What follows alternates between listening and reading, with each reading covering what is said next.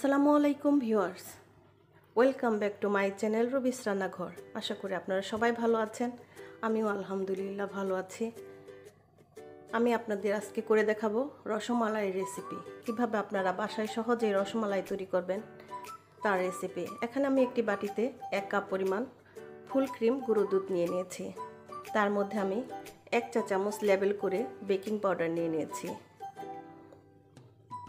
এরপর এখানে আমি এক টেবিল চামচ ময়দা লেবেল করে দিয়ে দিয়েছি। এবার আমি এখানে এক টেবিল চামচ ঘি লেবেল করে দিয়ে দিয়েছি।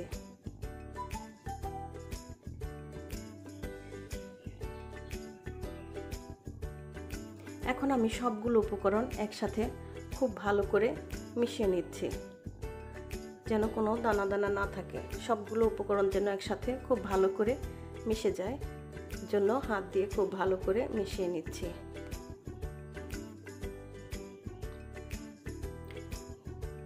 মিশানো হয়ে গেছে, এবার আমি একটা ডিম নিয়ে খুব ভালো করে ফেটে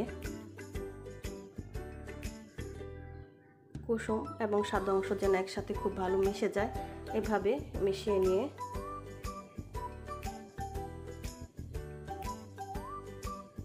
কুড়া দুধের মিশ্রণে দিয়ে ভালো করে হাতের মাধ্যমে মাখিয়ে নিচ্ছে।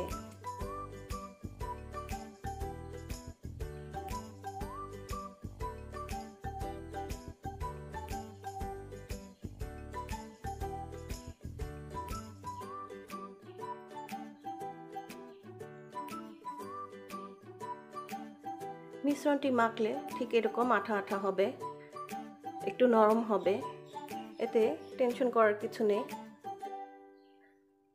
এরকম নরম নরমই রাখতে হবে।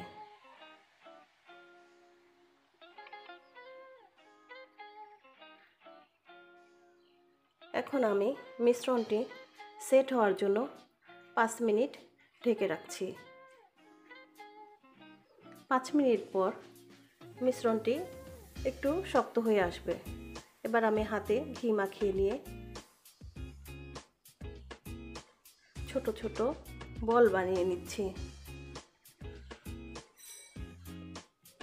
রসমালাইয়ের যে সাইজ হয়, আমাদের দেশে রসমালাইয়ের সাইজগুলো ঠিক এরকম হয় অত ছোট আমি করিনি।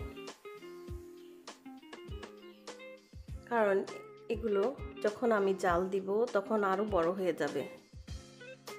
যদি আপনারা চান, এর চেয়েও ছোট বল তৈরি করতে পারেন। আপনি এভাবে হাতের সাহায্যেও গোল করতে পারেন।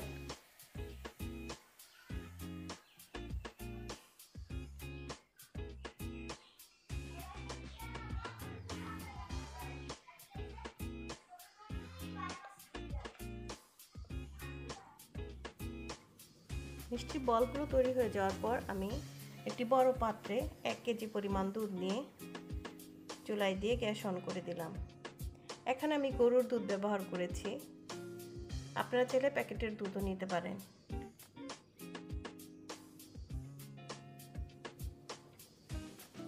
এখন দিয়ে দিলাম দুইটা এলাচ।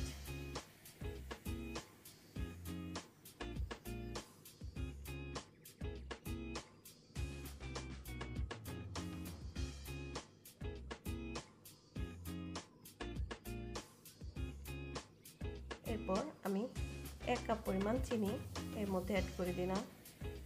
আপনারা কম মিষ্টি খেলে আধা কাপ চিনি দিতে পারেন।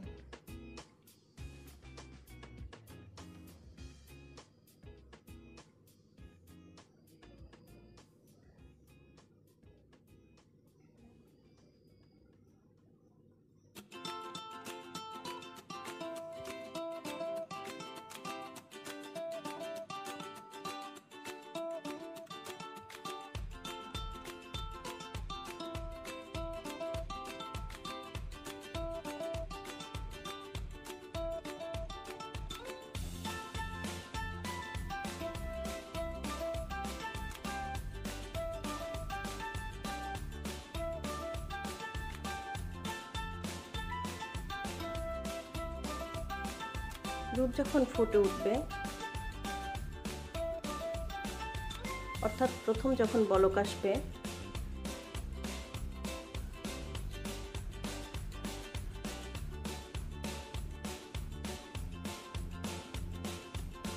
তখনই আমার বানানো মিষ্টির বলগুলো আমি দুধের মধ্যে দিয়ে দিব।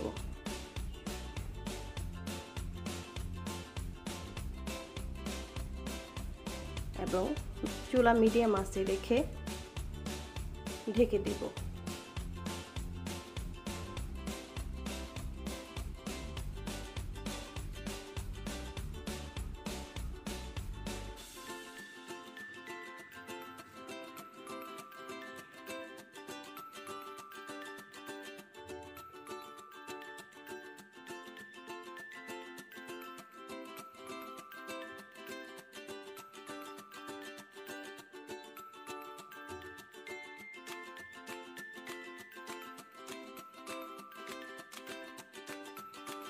পাঁচ মিনিট পর আমি খুলে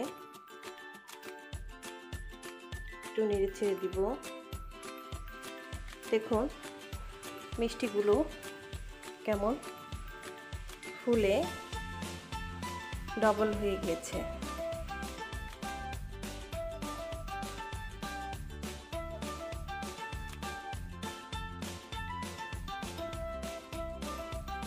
এখন আমি মিষ্টিগুলোকে ঢেকে আরও পাঁচ মিনিট সিদ্ধ করে নেব। মাঝে মাঝে ঢাকনা খুলে গ্যাসটা একটু বের করে দিব।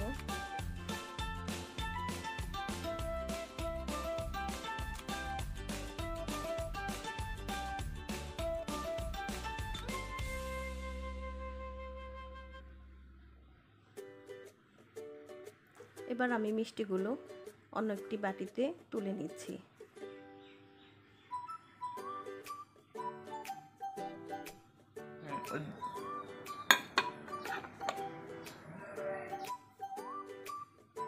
বাকি দুধটুক জাল দিয়ে আমি মালাই তৈরি করে নিব।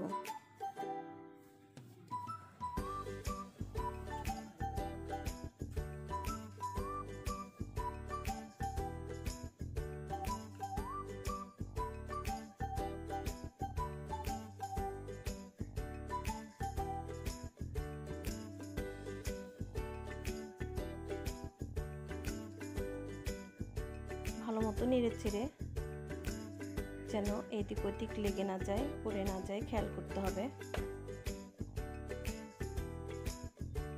দুধ যখন ঘন হয়ে আসবে,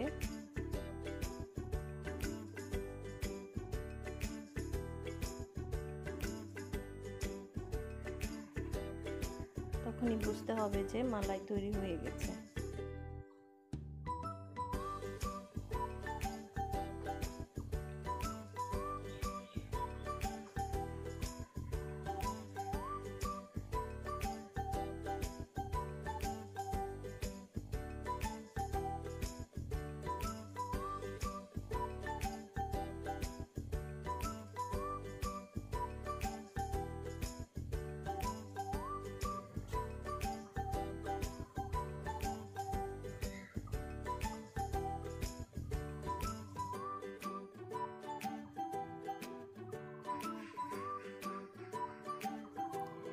এবার আমি মালাই মিষ্টির উপর ঢেলে দিব।